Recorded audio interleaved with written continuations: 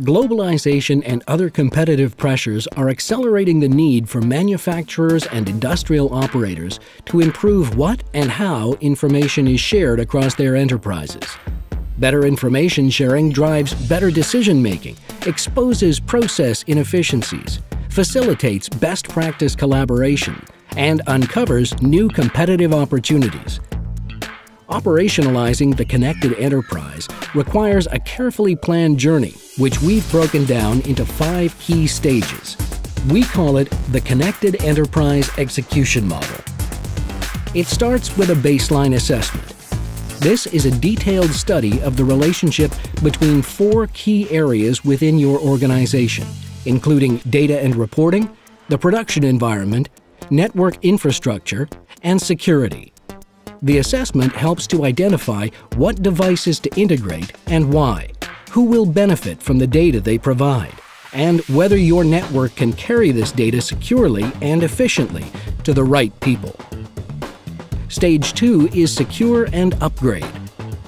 A connected enterprise isn't truly connected without a common network infrastructure that facilitates communications between your automation and control systems and your enterprise network. Ethernet IP helps enable this network technology convergence through the use of standard Ethernet and Internet Protocol IP technology. For all of the benefits of connecting your site and production assets, it also introduces greater risk in the form of internal and external threats, both malicious and accidental. So a multi-layered security approach is a must, using both physical and electronic defenses. Working data capital is the focus of Stage 3. A connected enterprise resolves the many problems that you might be experiencing with your operational data, like separating the good data from the bad data, or how to convert data into meaningful, actionable information. Stage 4 is analytics. Data-based analytics can be viewed in real time via KPI dashboards and can be monitored in concert with other real-time data, as well as against historical performance data. The data also can be presented and securely disseminated across your organization using web-based reports, which can deliver relevant information to the right person or people via a mobile device, PC, or other connected asset. Lastly, optimize and collaborate. One of the greatest benefits of a truly connected enterprise is the ability to link and share valuable information across people, devices, and machines.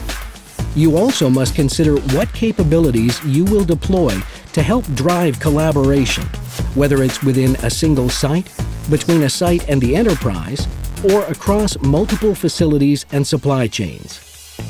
Every manufacturer and industrial operator will enter and progress through the stages of the connected enterprise execution model that is most appropriate for it, at a pace determined by its own needs, infrastructure, readiness, and resources.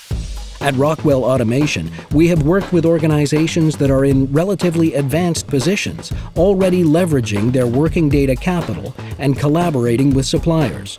We also have worked with companies at the beginning of their information technology and operations technology intelligence journeys. There are significant opportunities and profits for both. And like any process, as the goal is continuous improvement, the connected enterprise will constantly evolve over time.